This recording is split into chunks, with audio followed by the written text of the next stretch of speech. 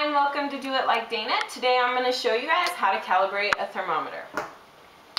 First and foremost, when you calibrate a thermometer, you're going to use either boiling water or ice cold water, which means you're going to take crushed ice and put some water into the ice. The way you calibrate a thermometer is by placing it in the water and moving the dial on here so that it matches up to the temperature of what boiling water is or what frozen water is. When you do it with the ice water, frozen temperature is 32 degrees Fahrenheit. You're going to stick it into your cup.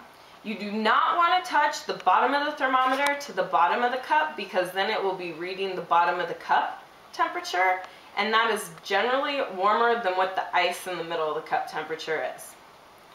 So once the needle stops moving, you're going to take the top part of the thermometer and all of these dials generally spin.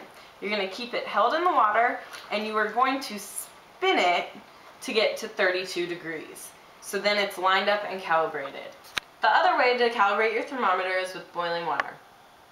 As I just showed before, you always want to have the water to a roiling boil.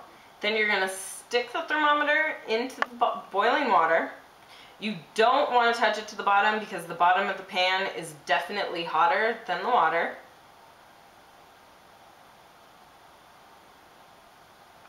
And once it gets to 212 degrees, which is the boiling point of water, you're going to want to take your thermometer, spin it until it gets to 212 if it's not calibrated properly. And there you have it, your thermometer is calibrated.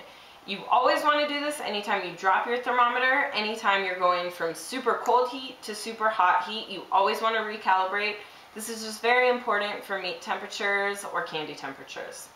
Thanks for watching Do It Like Dana. If you like what you see, please subscribe to my videos. And if you have any questions about any sort of kitchen utensil or tool, send me an email. I'd love to help you out.